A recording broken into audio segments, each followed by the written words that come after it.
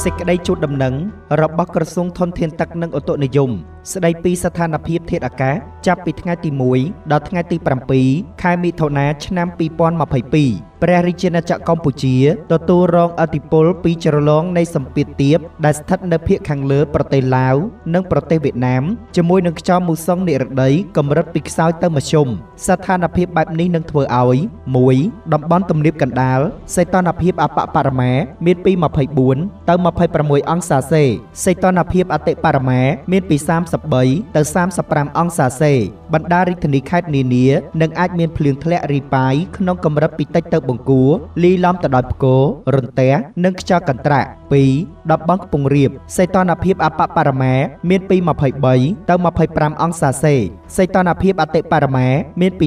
32ទៅ34អង្សាសេនិងអាចមានភ្លៀងនៅក្នុងកម្រិតពីតិចទៅបង្គួរលីឡំទៅដោយផ្គររន្ទះនិងខ្យល់កន្ត្រាក់3តំបន់មាត់សមុទ្រសីតុណ្ហភាពអបបរមា មានពី24ទៅ26អង្សាសេ សីតុណ្ហភាពអតិបរមាមានពី